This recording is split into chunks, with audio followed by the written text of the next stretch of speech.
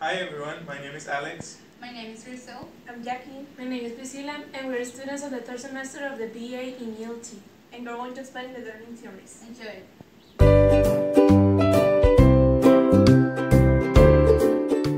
Hi, I'm Jackie and I want to present the first theory that is called behaviorism. Behaviorism was first developed by Watson, Skinner, and Pavlov in the early 19th. This theory says that all actions could be either learned or learned, and that you're learning through repetition.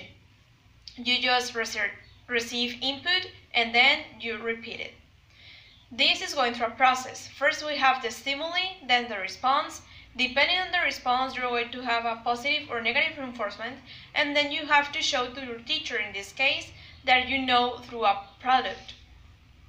A main characteristic of this theory is that, well, as I said before, you don't focus on the process, but on the product. If you don't show the teacher that you know, then the teacher is going to fail you.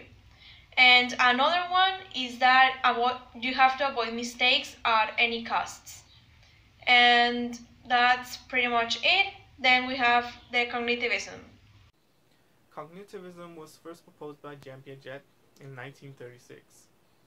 And this theory can be defined as a psychological study that focuses on mental processes, including how people think, perceive, and learn to solve problems. Jean Piaget states that there are four stages of cognitive development in this theory. First, the sensomotor stage, ages from birth to two years. And this stage we develop through our five senses by touching, watching, smelling, tasting, and listening. In the second stage, which is our pre-operational stage, uh, ages from two to seven years, our thinking is categorized through symbolic functions and intuitive thoughts. Uh, we learn to speak, become very curious, and ask many questions. In the third stage, which is concrete operational stage, ages from 7 to 11, uh, we discover logic and develop concrete op cognitive operations such as intuitive uh, and inductive reasoning and mental structures. In the fourth and last formal operational stage, uh, we have the ability to think rationally about abstract concepts and hypothetical events. And now to humanism. Humanism is a paradigm that emerged in the 1960s. It was focused on human freedom and the potential the human can have.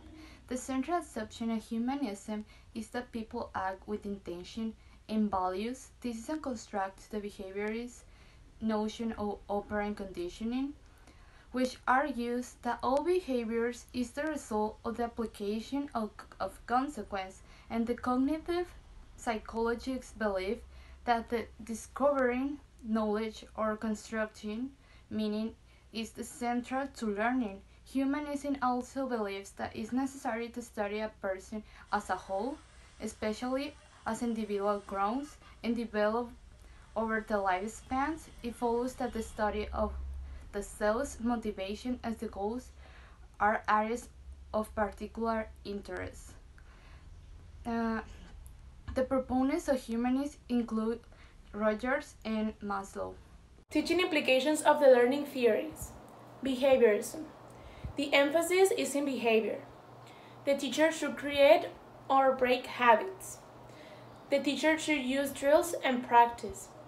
And finally, he or she should give positive or negative reinforcement when needed to. Then is cognitivism.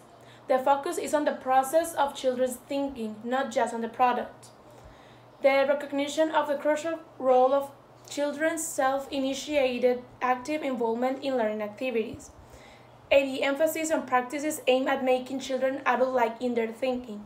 And finally, acceptance of individual differences in, de in developmental learning. And finally, humanism. Humanism uh, involves freedom of expression. Students learn what they want to learn when they want to learn it. Teachers should guide students in their learning process. Teachers should teach ethics and values and be empathetic, and he should provide a relaxed and beneficial environment for all students. And that's pretty much it, everyone. Thank, Thank you so much for watching. If you want some more information, you can send us an email to baboyschannel at gmail.com. Don't forget to subscribe and give a like to this video. Share the video with your friends.